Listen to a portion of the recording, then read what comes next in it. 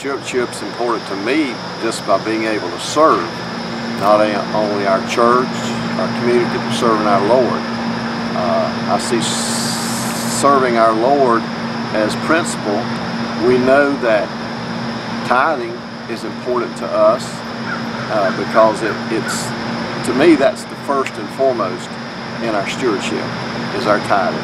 And I, I think about when I was young, uh, young family, and thinking about the fact when, how can I possibly tithe and still raise my family and do all we do? And it's been the same way in retirement when our incomes are cut so much and we say, how can I keep the standard of living I had and still tithe? But it does work. My tithing does strengthen my relationship with God because I know that's what we're instructed to do and I get satisfaction of knowing I can do that. My service to the community is important to me because I know I am serving others and that the Bible teaches us that also, to serve others uh, because we're serving God as we serve others.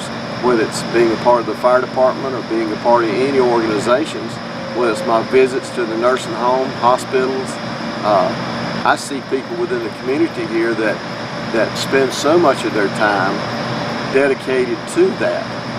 And it's important to me to be able to do that. I do get self-satisfaction of serving our community.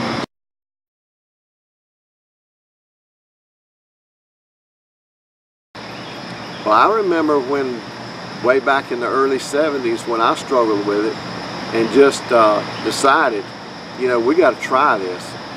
We'll make it work, and it did work.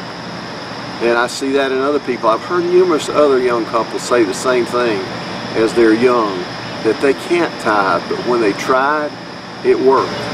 I have always seen our church as the leader in the community.